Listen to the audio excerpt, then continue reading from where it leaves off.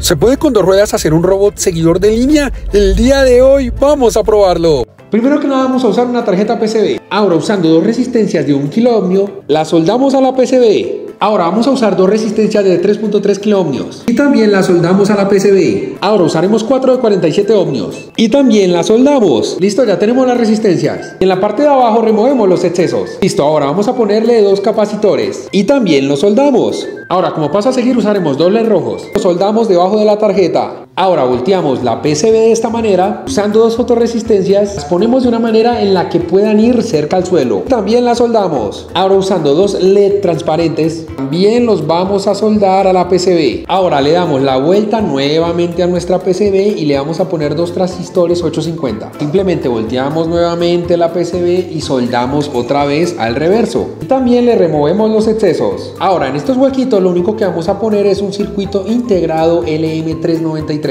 También lo soldamos. Así vamos ahora, ¿qué es lo que vamos a hacer? Vamos a usar dos reóstatos. Y también lo soldamos. Así vamos, ahora lo que vamos a hacer es poner un interruptor en este lugar y lo soldamos también. Ahora usando un portapilas y cinta doble faz simplemente le removemos esta capita protectora y lo único que hacemos es ponerla sobre la PCB. Y también lo soldamos a la PCB. Ahora usando dos motorreductores, lo soldamos también a la PCB. Ahora vamos a ponerle dos llanticas a los motores y las aseguramos con un tornillito. Ahora por último lo único que hacemos es poner un tornillito en esta posición. De lado ponemos una y por último una tuerca ciega. Lo que hacemos es ponerle baterías a nuestro robot. Cerramos aquí el portapilas. Ahora, ¿qué es lo único que vamos a hacer? Sencillo, vamos a poner el robot en la línea y vamos a prenderlo a ver qué es lo que pasa. 1, 2, 3.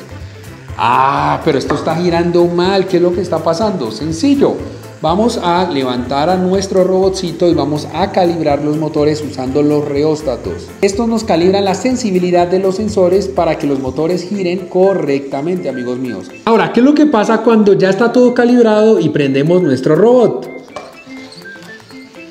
Vean muchachos, qué locura cómo se mueve ese robot.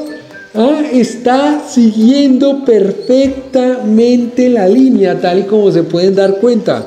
Es más, le voy a decir a nuestro camarógrafo que se acerque a Jason y tal y como se pueden dar cuenta, está girando muy, muy chévere nuestro robot. La locura, muchachos, la locura.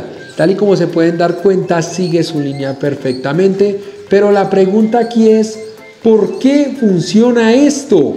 ¿Cómo funciona este robot seguidor de línea? Este robot seguidor de línea funciona principalmente por sus fotoresistencias, las cuales son sensibles al cambio de luz. Al pasar del blanco al negro de la línea, estos sensores envían la señal a los transistores en conjunto con el comparador LM393. Se activan los motores y así sucede la magia. Bueno amigos, hablando de robots seguidores de línea, los quiero invitar este 23 de septiembre a un evento muy chévere que va a haber en el municipio de Mosquera para que lleven su robot seguidor de línea y también su robot futbolista a competir. Allá voy a estar yo acompañándolos, entonces vengan al municipio de Mosquera que va a estar esto muy muy chévere. Si les llamó la atención este video, recuerden seguirme en todas las redes sociales como Padre Sarmiento y nos vemos en el próximo video.